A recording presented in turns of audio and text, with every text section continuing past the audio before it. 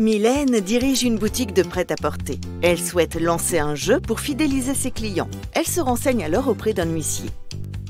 Ai-je le droit de lancer une tombola ou une loterie Ce type de jeu est uniquement destiné à des actes de piété ou de bienfaisance, à l'encouragement de l'industrie ou des arts, ou bien à tout autre but d'utilité publique. Les tombolas doivent être aussi autorisés par une autorité publique. Ok, je comprends. Et si je lançais plutôt un jeu de hasard? Ce type de jeu suit une réglementation stricte.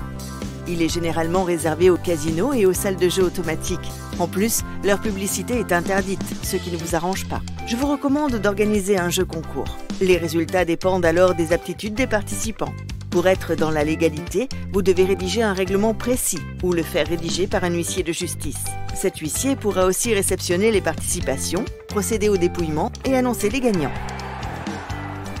Encore une solution juridique apportée par l'huissier.